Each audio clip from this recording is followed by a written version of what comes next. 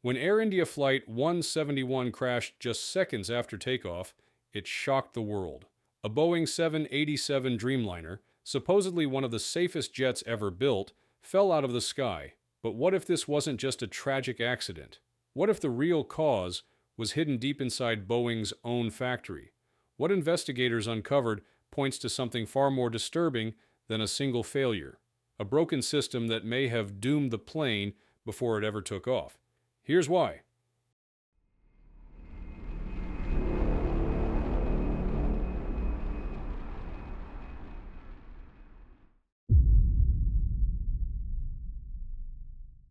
So, let's get into the nitty gritty.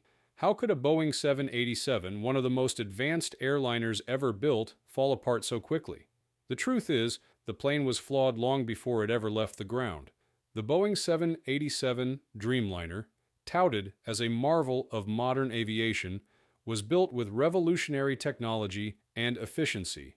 But somewhere along the line, Boeing's ambition to rush this plane into service led to severe shortcuts in quality control. First, let's talk about those 900 fuselage fasteners. And I'm not talking about a minor misstep here. 900 fasteners installed the wrong way, in critical, load-bearing zones of the fuselage.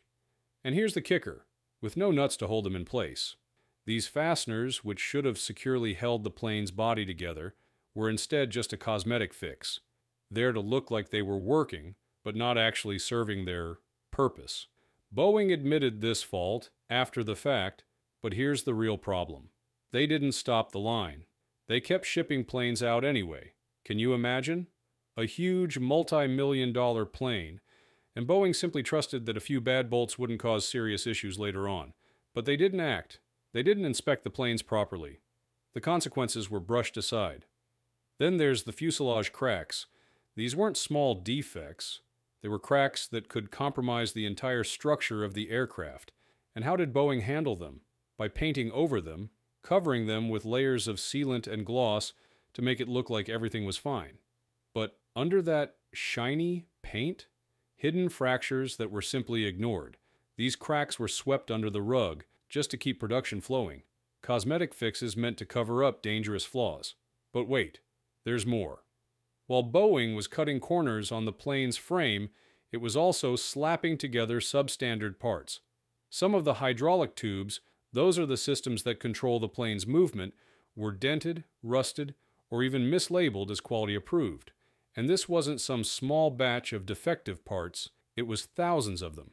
They came from a supplier that had been caught in 2024 for fraudulent certifications, shipping nearly 5,000 substandard components straight into Boeing's production line.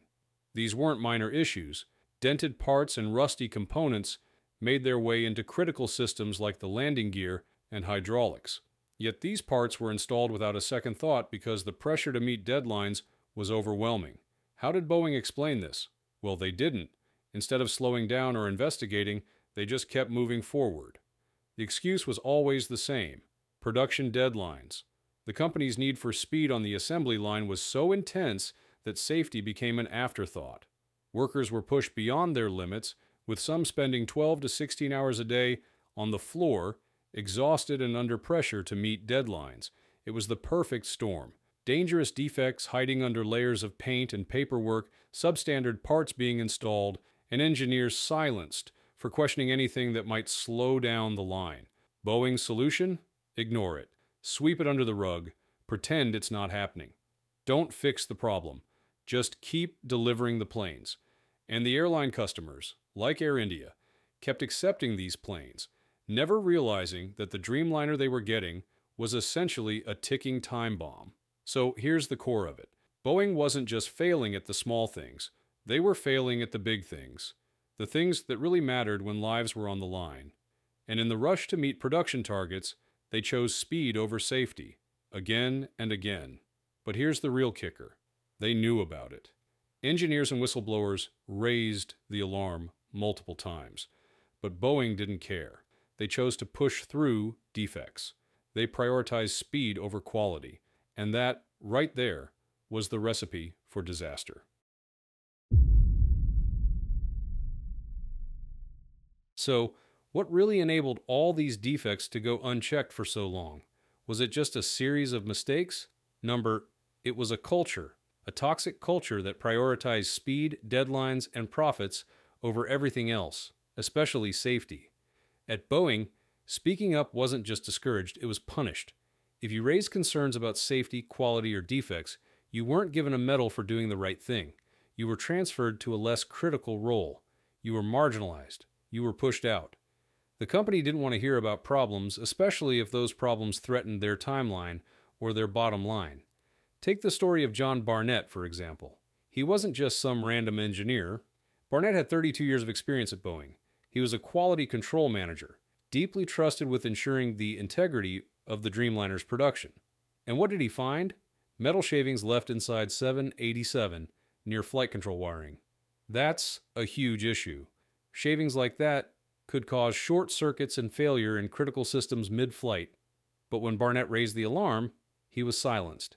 Instead of listening to Barnett's warning, Boeing transferred him out of the Dreamliner program and sidelined him. He even took his concerns to the FAA, only to be ignored. This was a man who spent decades building a reputation of professionalism, and instead of being hailed as a hero for flagging a serious safety threat, he was treated like a problem. And this wasn't just Barnett. There were multiple engineers and inspectors who tried to speak up about problems at the factory. The result? Fear, retaliation, punishment.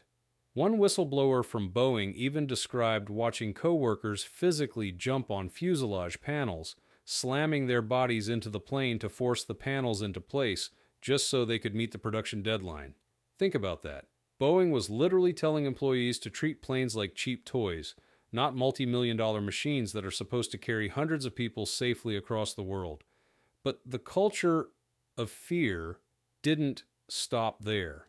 It wasn't just about what happened when employees raised issues, it was also about what happened when they didn't. Engineers who chose not to speak out and ignored safety concerns felt the immense pressure to keep production lines moving. 12 to 16 hour shifts were the norm, and when a problem arose, it was easier to pretend it wasn't happening than risk slowing down production. Some employees described their shifts as being fueled by adrenaline and Red Bull. They were working in a pressure cooker, and let's not forget the cost of silence. While the engineers, the workers, and the whistleblowers faced career consequences for doing the right thing. Boeing was left to carry on as if nothing was wrong. In fact, the company's focus was almost exclusively on hitting production targets, and safety concerns were brushed under the rug if they slowed down the process. The consequences of this culture are deadly clear. John Barnett, after years of fighting to have his concerns heard, eventually retired early in 2017, citing unbearable stress and health problems from the constant pressure and retaliation he faced. But that wasn't the end of the story. Barnett filed a whistleblower lawsuit against Boeing, fighting for justice for what he believed were willfully ignored defects that could have led to disaster. But in March 2024, just days before a deposition, Barnett was found dead, shot in a parking lot. The official ruling was suicide, but many who knew him raised questions about whether it was truly suicide or something more sinister. The fact that he was fighting Boeing when it happened only deepens the suspicion. How did Boeing respond? They denied everything, of course. They claimed they had an open door policy for concerns, but how many people lost their careers or faced retaliation for trying to speak out? The numbers are staggering, and the deaths of employees like Barnett are a haunting reminder that this culture didn't just threaten safety, it bared the truth along with it. Now we get to the real technical nightmare. What caused the crash of Air India Flight 171 to fall from the sky so suddenly?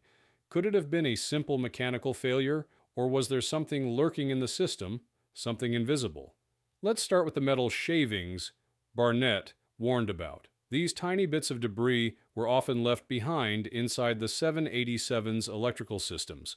Metal slivers, sharp enough to cut into wiring and cause short circuits, were being ignored at Boeing. And if one of those slivers got loose in the middle of a flight, it could cause a critical failure in the plane's electrical systems. And when the Dreamliner loses electrical power, it's not just inconvenient, it's catastrophic. Well, that's exactly what happened to AI 171. The emergency ram air turbine deployed right after takeoff, which only happens when the main electrical system fails. Both engines failed. The backup power didn't kick in. That's not just bad luck, that's a systems failure, possibly caused by an undetected defect, like the kind of metal debris Barnett warned about, but we're not done. There's also the issue of defective parts that were ignored. Imagine flying with a deformed valve or a miswelded component, parts that had been flagged as faulty but never replaced. There's no way to know which parts made it into AI 171, but Boeing's documented issues with defective parts suggest this wasn't a rare occurrence. The components that were never replaced could have led to critical malfunctions. After AI 171 went down, everything changed. Regulators moved fast. India grounded its Dreamliners. The FAA and ESA started quietly reviewing their certifications. Behind closed doors, there was talk of something Boeing once considered unthinkable pulling the Dreamliner's airworthiness certificate entirely. And you can see why. Fasteners installed backward, cracks hidden under paint, rusty parts relabeled and approved, metal shavings next to critical wiring. It's not just a list of failures, it's a blueprint for disaster. Airlines took notice. Qantas, KLM, Emirates, major Dreamliner customers started asking hard questions.